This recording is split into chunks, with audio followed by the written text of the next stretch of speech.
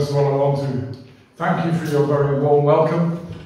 Uh, you may remember some of you, some of your faces are familiar, having visited you in August, but now I'm here to a far greater responsibility of preaching the Word of God to you. And uh, that is a privilege.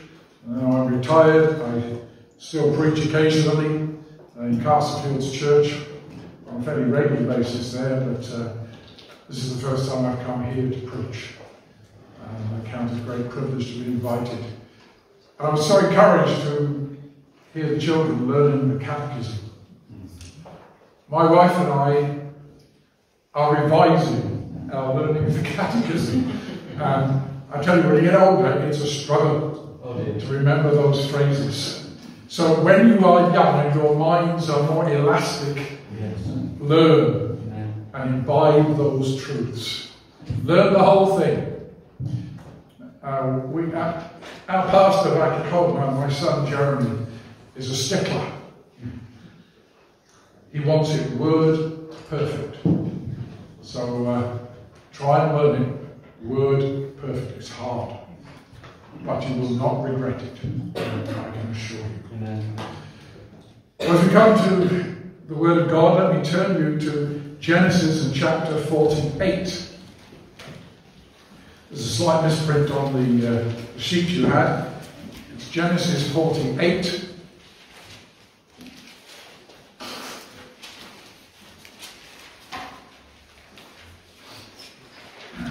I'm going to read the chapter, 22 verses. It's not as long as the first section that we had in Romans 8. It's more of a narrative and we'll be concerned with verses 15 and 16 of this chapter. Now it came to pass after these things that Joseph was told, Indeed, your father is sick. Now, his father, of course, was Jacob. And he took with him his two sons, Manasseh and Ephraim. And Jacob was told, Look, your son Joseph is coming to you. And Israel strengthened himself and sat up on the bed.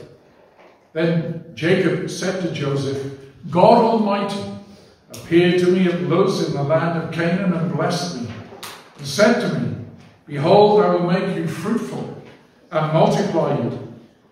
And I will make of you a multitude of people and give this land to your descendants after you as an everlasting possession. Now your two sons, Ephraim and Manasseh, who were born to you in the land of Egypt, before I came to you in Egypt are mine. As Reuben and Simeon, they shall be mine. Your offspring, whom you be, beget after them, shall be yours. They will be called by the name of their brothers in their inheritance. But as for me, when I came from Padan, Rachel died beside me in the land of Canaan on the way, when there was but a little distance to go to Ephrath, and I buried her there on the way to Ephrath, that is Bethlehem. Then Israel saw Joseph's sons and said, Who are these? Joseph said to his father, These are my sons whom God has given me in this place. And he said, Please bring them to me, and I will bless them. Now the eyes of Israel, that's another name for Jacob, the name God gave him. The eyes of Israel were dim of age, so that he could not see. Then Joseph brought them near him, and he kissed them and embraced them. And Israel said to Joseph, I had not thought to see your face, but in fact God has also shown me your offspring. So Joseph brought them from beside his knees, and he bowed down with his face to the earth. And Joseph took them both, Ephraim with his right hand toward Israel's left hand, and Manasseh with his left hand toward Israel's right hand and brought them near him. Then Israel stretched out his right hand and laid it on Ephraim's head, who was the younger, and his left hand on Manasseh's head, guiding his hands knowingly, for Manasseh was the firstborn. And he blessed Joseph and said, God before whom my fathers Abraham and Isaac walked, the God who has fed me all my life long to this day, the angel who has redeemed me from all evil, Bless the lads. Let my name be named upon them, and the name of my fathers Abraham and Isaac, and let them grow into a multitude in the midst of the earth. Now, when Joseph saw that his father laid his right hand on the head of Ephraim, it displeased him. So he took it off his father's hands, removed it from Ephraim's head to Manasseh's head. And Joseph said to his father, Not so, my father, for this one is the firstborn. Put your right hand on his head. His father refused and said, I know, my son, I know. He also shall become a people, that he also shall be great. But truly his younger brother shall be greater than he, and his descendants shall become a multitude of nations. So he blessed them that day, saying, By you Israel will bless, saying, May God make you as Ephraim and as Manasseh. And thus he set Ephraim before Manasseh. Then Israel said to Joseph, Behold, I am dying, but God will be with you and bring you back to the land of your fathers. Moreover, I have given to you one portion above your brothers, which I took from the hand of the Amorite with my sword and my bow. Throughout the scriptures of the Old and New Testaments, there are some wonderful examples of God's grace breaking into the lives of people. You think one of the outstanding cases would have been Manasseh. Manasseh, 55 year reign of terror, one of the last kings of Judah. He was a, a man of blood, oppressing the people. He was brought low in Babylon. God subdued him and drew him to himself, forgiving him and restoring him. Grace triumphed in the life of Manasseh. Because in the New Testament, you have that persecutor, that violent man, that blasphemer, Saul of Tarsus, who met Christ, or perhaps we should say Christ met him on that Damascus road and confronted him and appointed him to be an apostle to the Gentile nations. You would not have liked to have met the Apostle Paul when he was known as Saul of Tarsus. Your life would have been threatened, and yet he became one of the greatest Christians, a triumph of the grace of God. Jacob, or as he was named then by God, Israel, Jacob, is sometimes overlooked, but the same grace of God triumphed in Jacob's life. He was the father of the 12 tribes, but he had a very checkered history. It takes up a large part of the book of Genesis. Most of the second half is taken up with different aspects of Jacob's life. Here in chapter 48, you have an old man. He's actually 147 years old at this particular point. Now, some of these men lived a long time uh, in those days, but here is an old man. And here in verses 15 and 16 are the words that he spoke as he blessed Joseph's sons, Ephraim and Manasseh. So they are the words of a dying man, of an old man. He's in Egypt. He's weak in body. He can't see very well.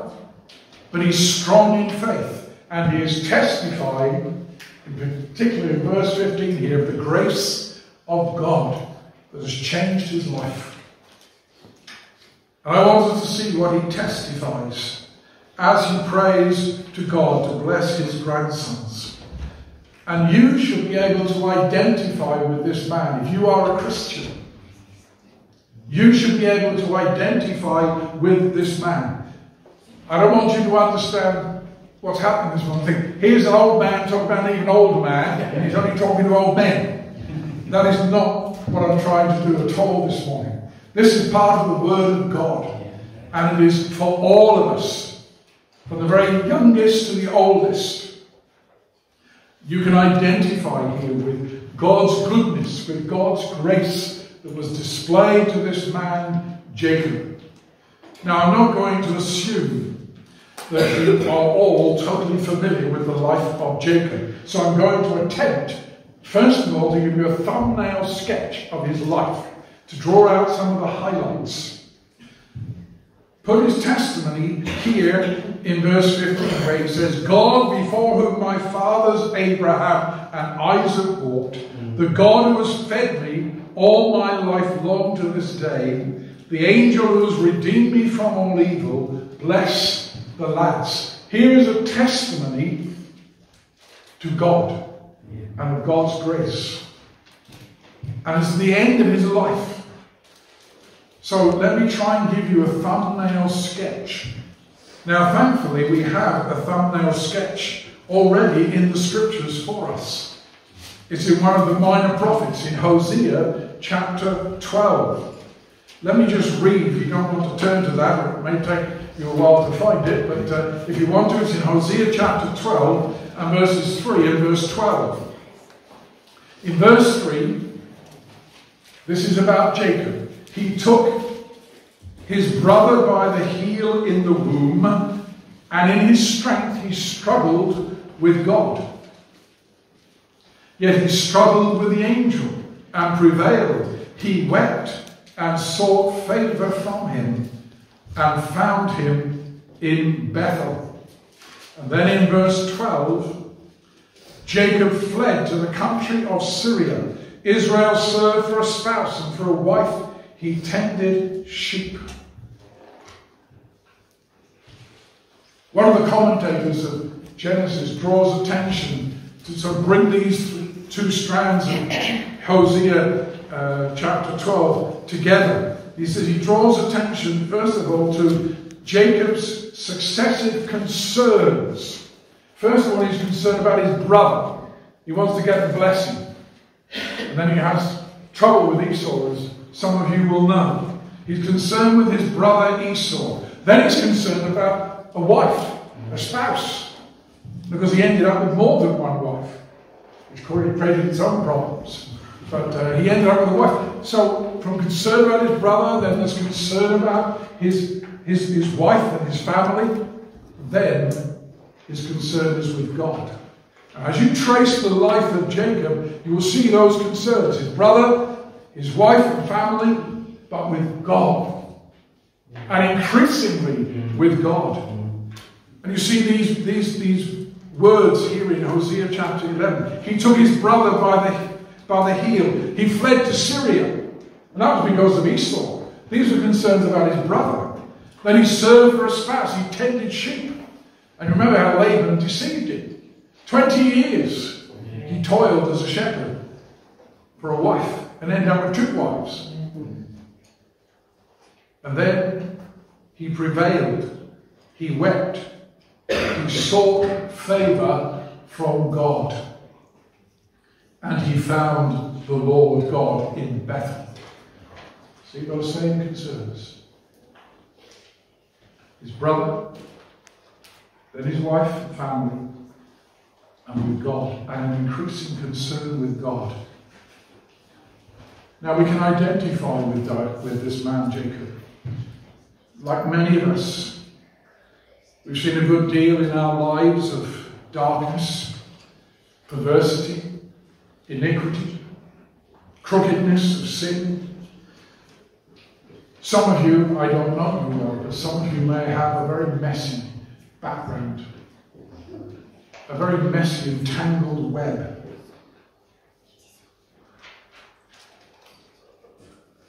And you've perhaps been on the receiving end of selfishness, of wrongs, of hatred.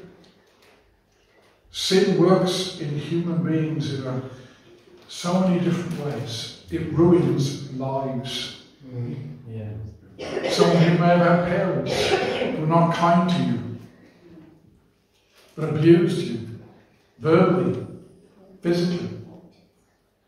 That's very common, even in our world.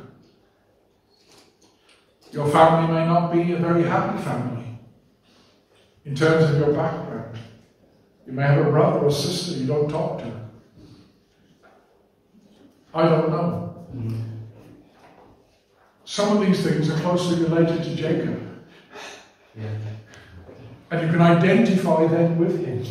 And God does not cast you off and then one he casts Jacob off because of these things and because of his sin and those who sinned against him. Grace shines very brightly in a world where sin threatens to destroy us. Jacob, the name Jacob, his very name, indicates the kind of man he was. He grasped his brother by the heel. He was what is called a supplanter. He was deceitful. And he sought to obtain the blessing that belonged to Esau as the firstborn, and he indulged in deceit, and he capitalized on Esau's weaknesses and frailties, and he secured the blessing for himself. He was a schemer. He had a strategy. And with the collusion even of his mother, Rebekah, he stole Esau's birthright and secured the blessing that was reserved for the firstborn son. You know, he even indulged in lies. He even claimed that God had blessed him. He lied to Isaac. He lied about God. He said, well, God's, God has blessed me. God has enabled me to, to, to hunt successfully. And I've been able to cook this meal for you. Rebecca knew what was going on. She was behind the whole thing. So you see there was division in the family between husband and wife. And division between Esau and Jacob. Can you imagine the mess? Can you imagine the relationships that they had? It's no wonder then that Jacob, once he has done that, has to run for his life. He's afraid of Esau. Esau's his older brother. Esau's the, the red and hairy man. He's the strong man. He's the hunter. And Jacob's scared stiff. So again, with Rebecca's help, he flees. He flees from what he fears will be Esau's revenge. His past now has been filled with guile, deceit, selfish grasping, ambition, lies, even using God's name. He's driven away, and for 20 years he's with his uncle Laban. And Laban is one of the meanest men in Scripture. He really is. You wouldn't have wanted to work for him. Kept changing his wages. But you see, what was God doing? Well, Jacob, you've been a deceiver. Now I'm going to give you a taste of what it's like to be deceived. And God, God is dealing with him. He may not be aware of it, but God is dealing with him. And then he comes away from Laban with two wives. And on his way back, who should meet him? God. God met him in Bethel in chapter 28. Bethel means the house of God. He made a vow you can see this man's beginning to learn. He made a vow, if the Lord be with me and keep me in this way, and I have bread and clothing and return in peace, then the Lord will be my God. Read that in chapter 28 and verse 20. Then again, at Peniel, as he leaves Laban, preparing to meet Esau, he's in fear and trembling. Meeting Esau after all this time. Will he still hate me? Will he still be full of revenge? Will he still want my life? Will he still threaten me? And I'm not just on my own now. I've got wives, I've got children, I've got, I've got flocks. How's he going to treat me? And there at Peniel, chapter 32, he struggles with God. And such was the struggle that he came away with a permanent limp. He limped for the rest of his life. But he prevailed with God, and God renamed him Israel prince with God. No longer the deceiver, no longer the supplanter, no the one who stole the birthright and stole the blessing. Now you are a prince with God. But you see, who took the initiative? It wasn't, wasn't Jacob, was it? It was God. God met him in Bethel. God met him at Peniel. And God dealt with him. And God humbled him. And the amazing thing, given the kind of man that Jacob was and what he had done in the past, the words that God spoke to him were not words of divine judgment. If God had turned around and said, Jacob, you've burned all your bridges, you've had it. Depart from me, go away from me, I will have nothing more to do with you. If God had said he would have nothing more to do with Jacob, it would be nothing more than he deserved. God did not. God met with him. God met with him. And it led to him beginning to wonder the ways of God's dealings with him. He hears the voice of a gracious God. He hears the promises of God. And he learns repentance. He begins to learn humility. He begins to learn to trust in God. Grace teaches sinful, selfish deceivers. Amen. And most of us are no better. Yeah. We're all in the same boat. Yeah. We're all in the same category. If our sins are not precisely the sins of Jacob, there are other sins. But grace teaches us, humbles us despite our sinfulness.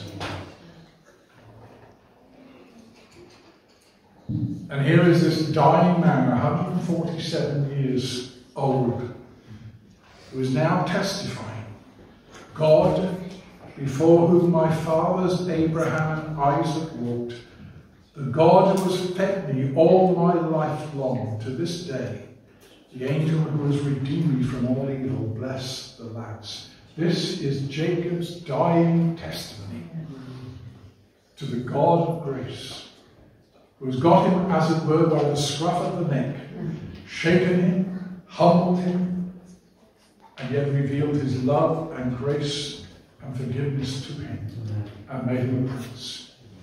A deceiver becomes a prince, a prince with God. I've already begun to introduce you then to the second thing that we have here, coming specifically to the text.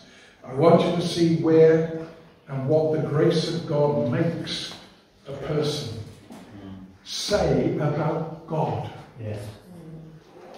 We've seen, we've traced him. He was concerned, first of all, with his brother. Then he was concerned with wife and spouse and family. Now he's concerned with God. And here he is at the end of his life. What does he have to say about God? What does grace, what difference does it make? How does it change us? Yeah. It makes us talk about God in a way that we would never have done so before. Because we've tasted and experienced the grace of God in our hearts and lives. See, grace, as it were, takes you by the hand and it opens your mouth then to speak the praise of the God of grace, to tell what God has done for you, to say what God is to you. Because grace changes your heart, changes your mind, it changes your will, it changes your desires, it changes your motives, and therefore it must come out in words and actions. And that's what we see here. As he blesses Ephraim and Manasseh, he has something to testify now about God to Joseph and to his Jacob's grandsons. No longer now the deceiver, the grasper. No longer that fearful man who's on the run for his life.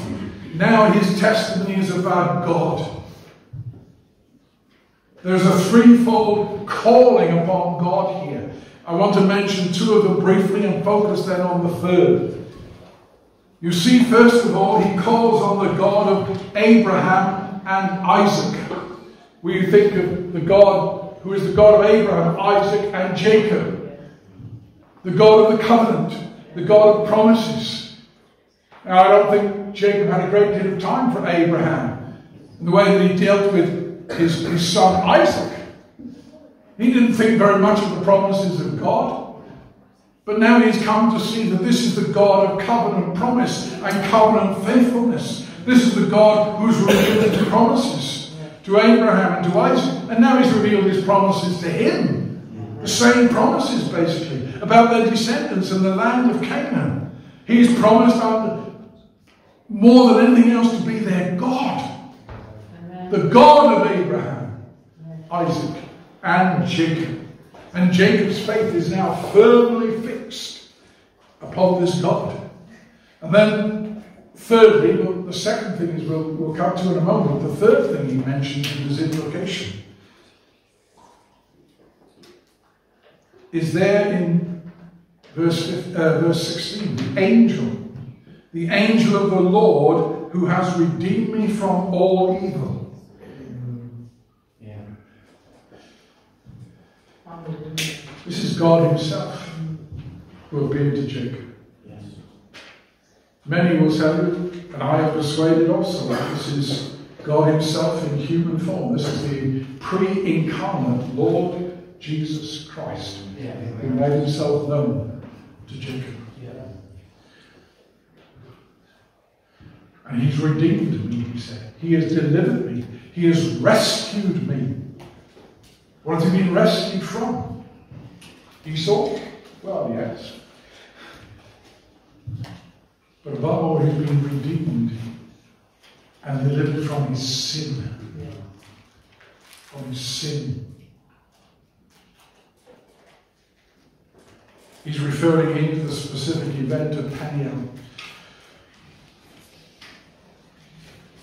There's more than a sermon in that chapter. Because there, Peniel is the key turning point. But I wanted to focus on verse 15 and the second invocation, which refers amazingly to the whole of his life. Since I had my being, he's going back to the days when he was first born and began to live in this world.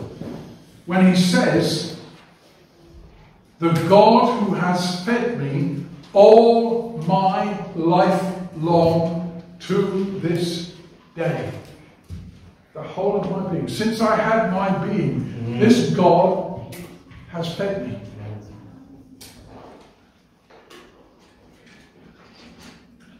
And he's talking now, he's looking back, and he can see the way that God was had dealt with him when he was the deceiver, when he was the supplanter, when he was on the run from his brother Esau, when he was serving Laban, the labor, the meanest man on the earth at the time. He says, This God has fed me all my life long. What a wonderful testimony from a weak, dying 147 year old man. He's reflecting now on 147 years. And he said, All my life, God has fed me. Amen. God has cared for me. That word is fed is a very interesting one because it's a word from which you get shepherd. Feeding was part of, feeding the sheep was part of the shepherd's responsibility. But Jacob is in fact saying, God has shepherded me. He's acted like a shepherd towards me. He's cared for me. He's protected me. He's guarded me. When I've been down, He's picked me up. When I've been wounded, He's healed me. He's restored me. Think of some of those phrases in Psalm 23. Jacob have sung that song. David was a shepherd. He knew what it was to care for the flock. And Jacob was saying, But this God has cared for me like a shepherd all the days of my life. What a testimony. Who would have imagined that? A hundred, perhaps 30 years before. If you'd have seen him and known him, the kind of man that he was. But here it is. He's saying God has literally, God has shepherded me. Jacob knew what it was to be a shepherd. He spent 20 years with Laban. Yeah. Sleepless nights, going after the lost, binding up the wounded, the sick. You know, a shepherd in those days was like a vet. You'd have to look after the sheep if they got ill. Sheep have a habit of wandering off, don't they? They go their own way. Yeah. Jacob says, But God's been a shepherd to me.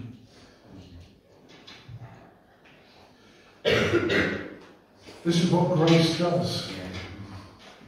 It brings you to see the goodness and the kindness, the care, the provision that God has made for you. And in fact, God was taking care of you long before you were ever converted. Um, you didn't know it, you didn't recognize it, you fought against it. But no, that's what Jacob is saying here. All the days of my life, wow. since I had birth, yeah. God's been taking care of me. Yeah. He's been patient with me despite my stupidity and my sin and my deception and my fears and my anxieties. It's the God of grace who's brought into this confession. You've been my shepherd my whole life.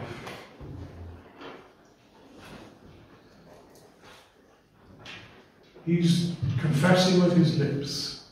As in fact, he's praising God because he's teaching Joseph and he's teaching Ephraim and Manasseh. This is his testimony. He's linking them up with Abraham, with Isaac. He's giving them his blessing as Jacob. He's declaring God to them that they might know this God, the God that I know, he says, the God of grace. And you see, it is a repeated and a growing, developing testimony. I just want to read three or four passages from his life, and you'll be able to trace out how he is becoming more and more God conscious by that I mean he's becoming more and more aware of God yeah. and the way that God is dealing with him and the way that grace deals with him. In Genesis chapter 28 and verses 13 and 15, we read these words. Genesis 28, verse 13. This is Jacob's part where Jacob makes his vow at Bethel. And behold, verse 13, Behold, the Lord stood above him and said, I am the Lord God of Abraham, your father, and the God of Isaac. The land on which you lie I will give to you and your descendants. Also your descendants shall be as the dust of the earth. You shall spread abroad to the west, to the east, to the north, and the south, and in you and your seed all the families of the earth will be blessed. Same promise was given to Abraham. Genesis 12 and verse 3. And then notice verse 15. This is God speaking. But Jacob imbibes what God says, believes what God says. Behold, says God, I am with you and will keep you wherever you go and will bring you back to this land. For I will not leave you until I have done what I've spoken to you. Jacob latched on to that promise. Yeah. He believed what God said. Mm. This was God dealing with him in grace, confirming to him that despite his sin, he had not left him. And God is saying, I'll never leave you, I'll never forsake you, Jacob.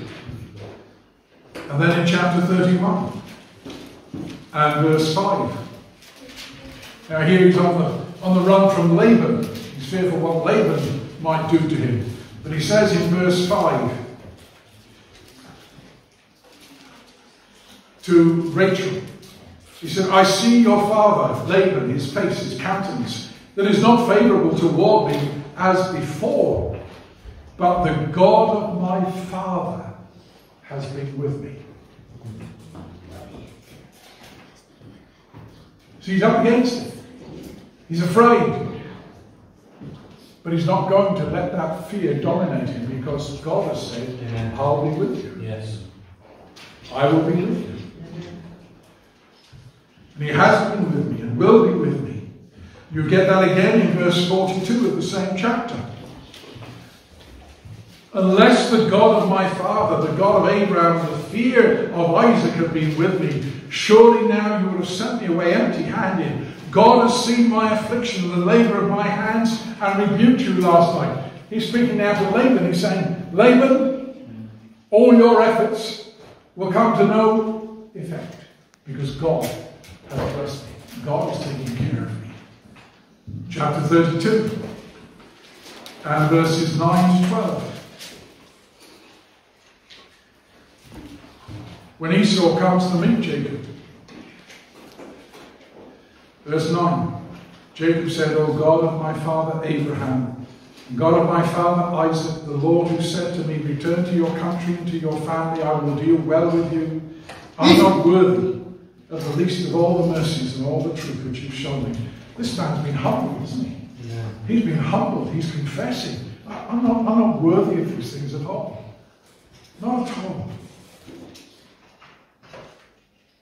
I crossed over this Jordan with my staff. Now I've become two companies. Deliver me, I pray, from the hand of my brother, from the hand of Esau. For I fear him lest he come and attack me and the mother with the children. For you said, I will surely treat you well and make your descendants as the sand of the sea, which cannot be numbered for multitude. See, there's not only humility, there's faith. Yeah. There's a confidence in God. He's trusting God's providence. The order of events, even now he's facing Esau. And then in chapter 32, again in verse 30,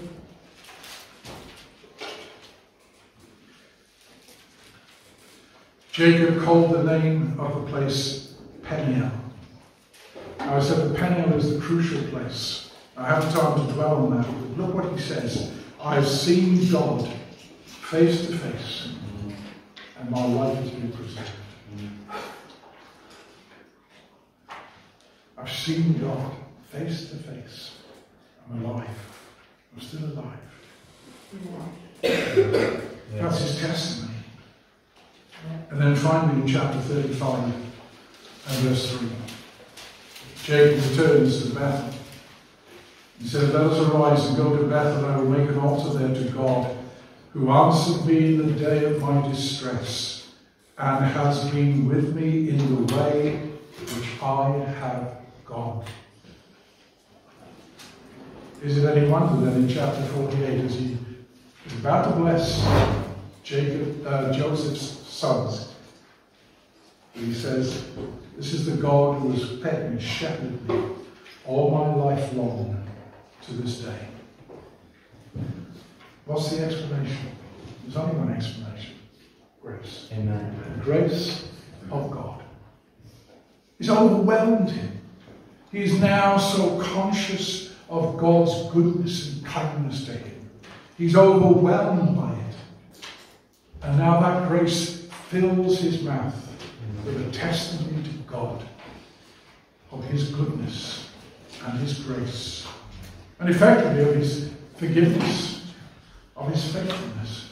God has not abandoned this wretched sinner, this deceiver, this man who concocted all these plans to secure the blessings for himself.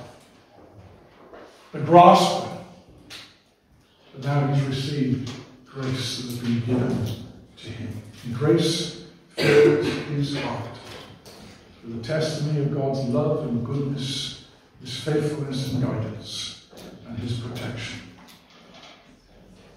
The grace of God conquers sin. Amen. The grace of God protects you. The grace of God guides you. The grace of God enables you to hold fast in times of disappointment, in times of danger, in fears, in a world that is full of sin, full of horrible things. Grace triumphs in the life of this man. But is that grace, is that same grace of God triumphing in your life? Can you say this with Jacob. You don't have to live 147 years to say this.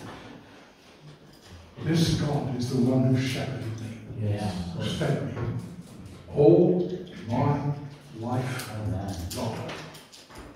That is a wonderful testimony able to give.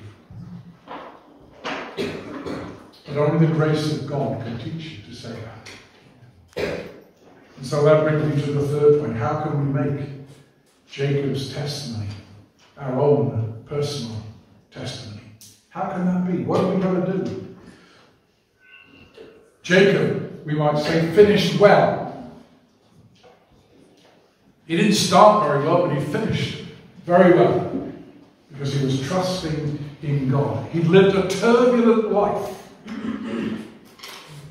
Even after Bethel and Peniel, there were hard times. Remember the Dinah incident? Mm. When the brothers killed the Shechemites because they'd abused Dinah. And then there was the supposed death of Joseph.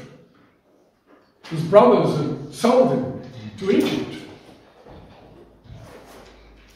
And then there were hard times because of the famine. He had to leave Canaan and go down to Egypt. The latter years of his life were not lived in Canaan, the promised land. They were lived in Egypt. That didn't alter his conviction. This was God's way. This was God's dealing with him. This is not a story of all's well that ends well. It's not some fairy story. This is the revelation of God. Amen. This is the revelation of the grace of God to one man in particular. But that same grace that is made known to us in Jesus Christ to all who believe and trust in Him. So, how can you make Jacob's testimony your testimony? Well, not until you have tasted the grace of God. Ryan said this morning, you're not born a Christian. Mm-hmm. Jacob wasn't born, if I can use the term out of, out of place, Jacob wasn't born a Christian. He wasn't born a believer in the promises given to Abraham and Isaac. He wasn't born, as it were, the grace of God already inside of him. It's just going to then spring out. Now, this man was a sinful man.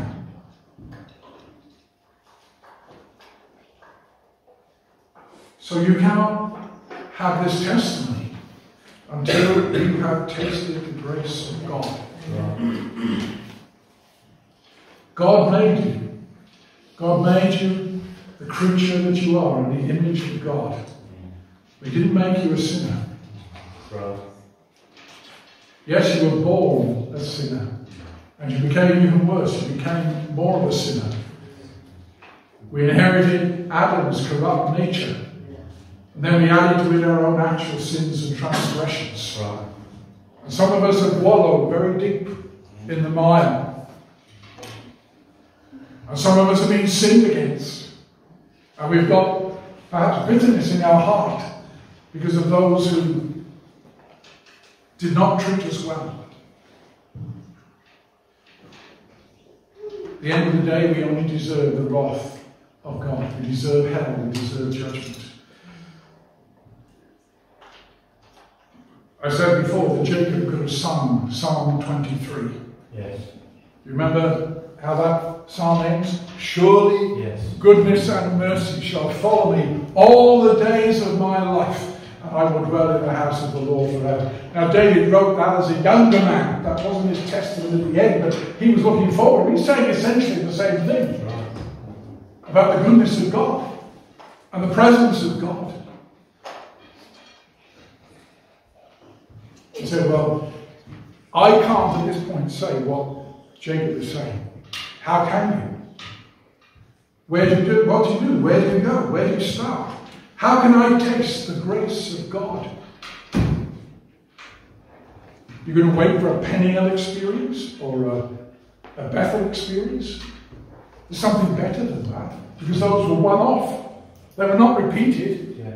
But we have in the scriptures a declaration of salvation by faith in Jesus Christ. Yeah. That's the whole purpose of the scriptures. Yeah. To point us to the good shepherd, Amen. the ultimate good shepherd. Yeah. The one who lays down his life for his sheep.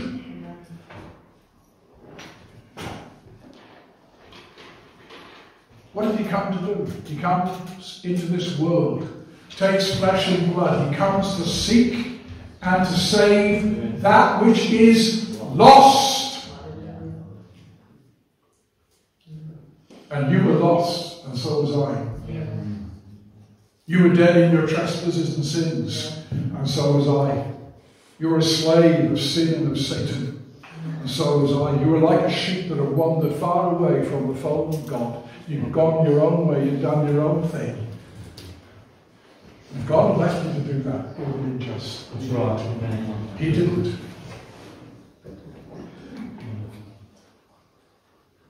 You have a golden opportunity every time the scriptures are opened up and the gospel is preached to you and Christ is set before you as a good shepherd.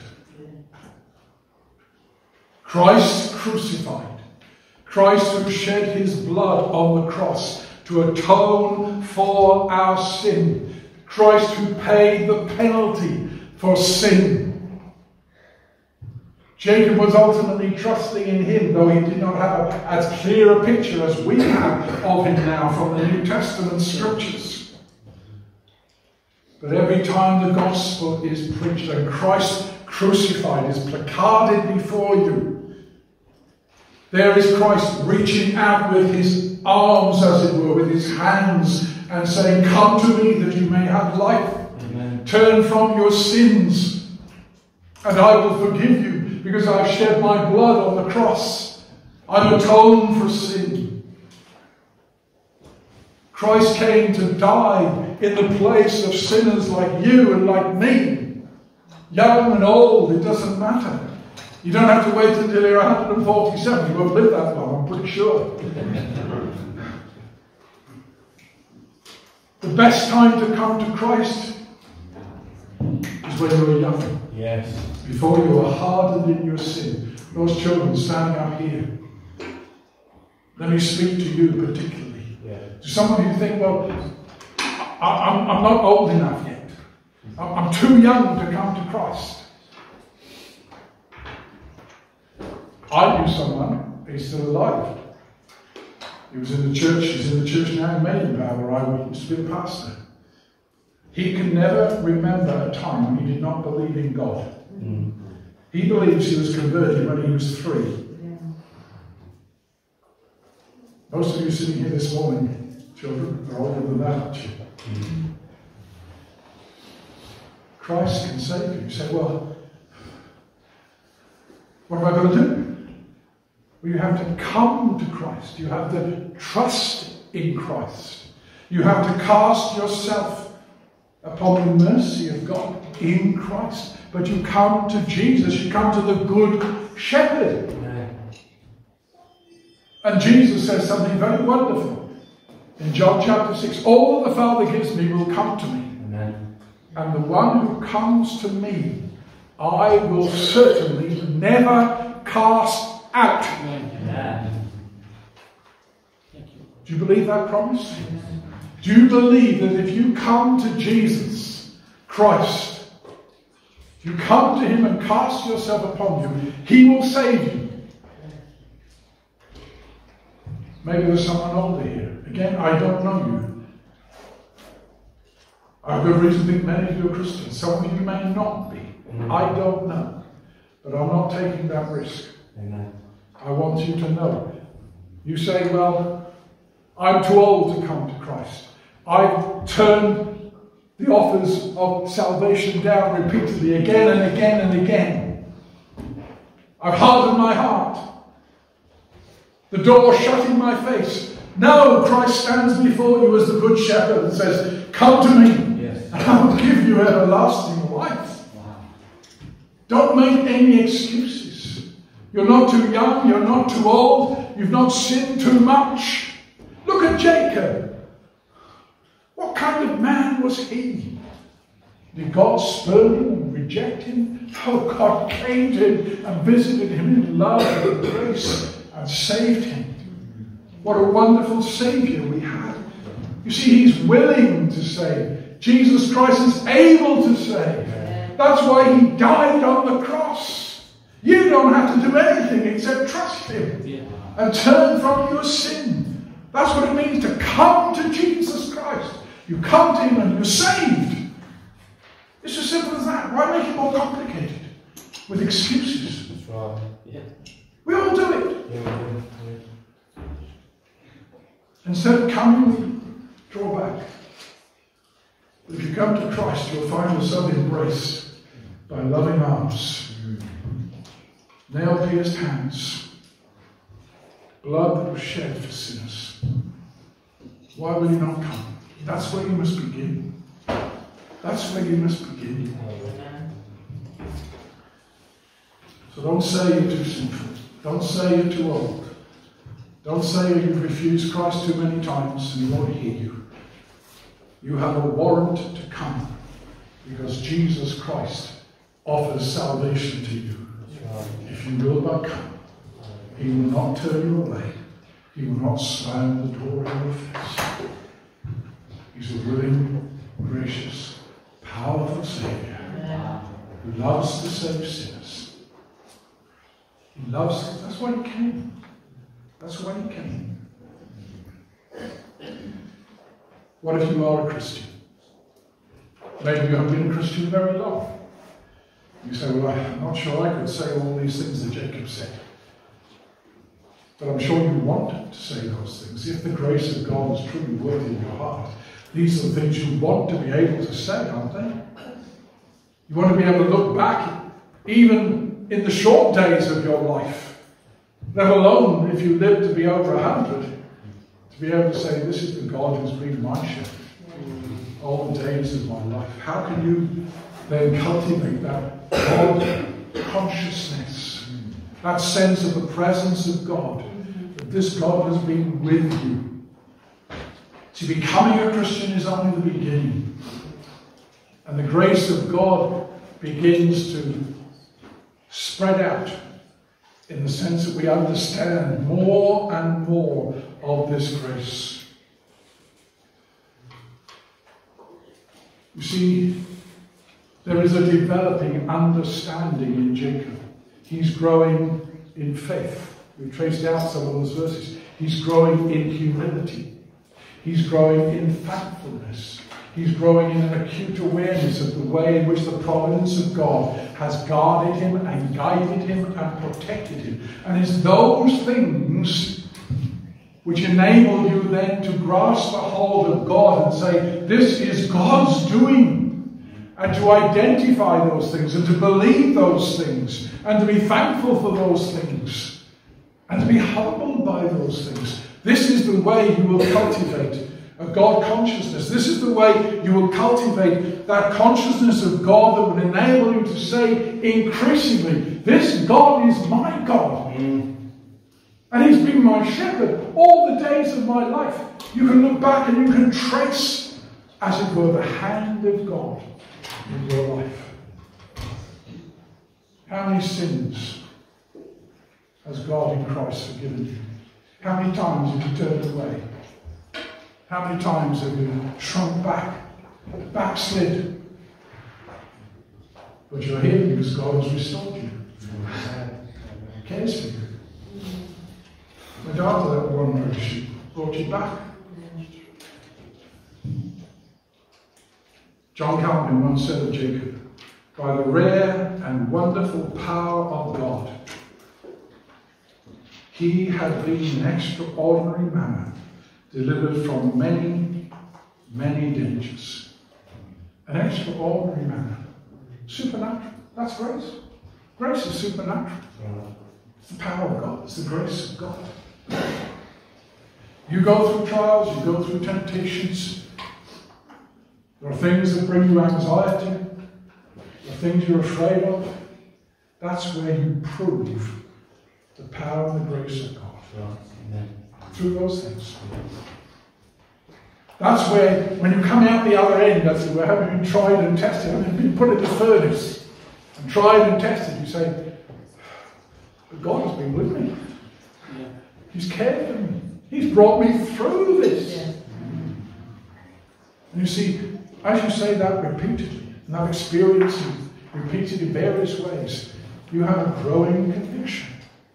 This God, this God is the God who shepherded me all the days of my life. So the older you become as a Christian, the stronger your faith ought to be, and the conviction ought to be, because you prove God's faithfulness, you prove God's goodness, you prove God's promises. and you proved his grace. At the end of the day, God has got a stronger hold on you than you have on him. Amen. Yeah. That's what grace does. Grace won't let you go. Grace won't abandon you. If that were the case, God is denying himself. That's right. And he never does that. His glory is at stake. Wonderful. Therefore, he puts testimonies like this upon the lips of those to whom he is gracious. But may God help us. Fill our hearts with that confidence in God. May we come there with renewed love this morning and a resolve to walk humbly with the Lord our God, the God of Abraham, Isaac, and Jacob. Amen. Amen. Let's pray. Lord, how gracious a God you are. Far beyond our comprehension. We cannot plumb the depths of your love, its length, its breadth, its height, its depth. It is immeasurable.